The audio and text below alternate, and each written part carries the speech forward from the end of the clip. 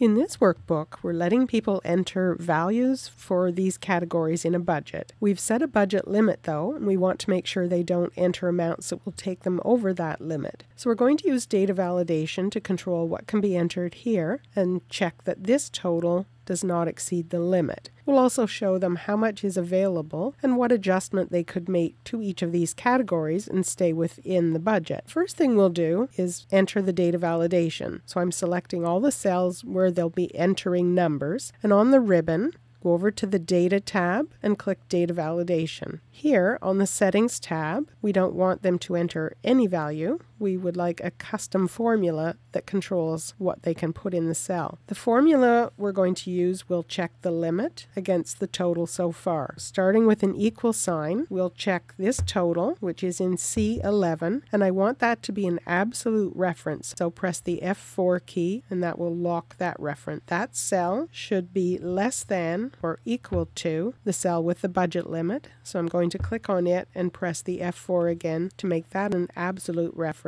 to cell D2. We can also put in an error alert to help them if something goes wrong. So if they type a number that takes them over that budget, they'll see an error message and we can control what that message says. So I can type a title that says over limit and then I'll put in an error message here that gives them a little more information. Over limit, enter a lower number, then click OK. So the next thing we're going to do is create a total formula here, selecting the cell where the total should appear. I'll go back to the Home tab on the ribbon and click the Auto Sum button. I don't have anything entered above this cell, so it's not sure what to sum. I'll select cells C6 to C10 and press Enter. So now we'll get a total. Then enter a number in here, and if I put in something that's over the limit, I get the custom message that we created and I can retry or cancel. The next thing we'll do is show how much is left of the budget as they enter values in here. So this is equal to the limit minus the total so far. And we don't have to make these absolute because we're not going to copy this formula down. It's just in the one cell. I'll press enter. So we still have 5,000. If I put 4,000 for rent, we show the 4,000 here, we have a 1,000 available. And if I try to put in something too high for postage,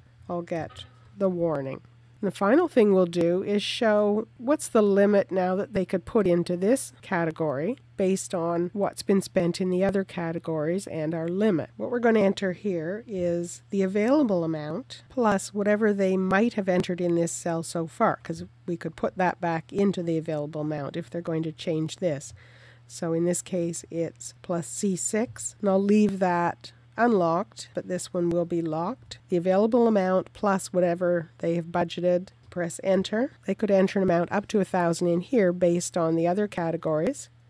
And we drag it down. This shows that rent could go up to 5000 because we're not counting this amount. We're assuming they're going to take that out and they could put up to $5,000 in here. So if we change the rent to 2000, we could put 3000 in any other category and this one could be adjusted up to 5000. So I'll just enter more numbers here and I can see what I have left for travel right now is 750. They can adjust them later if they find out rent's only going to be 1500. They can still see there's 500 left and what adjustment adjustments they could make to any other category. Now we could spend a little more on travel. We don't have to do the arithmetic in our head to figure out how high that could go. We can see that that's our new limit. For more Excel tips and tutorials, please visit my website at www.contextures.com.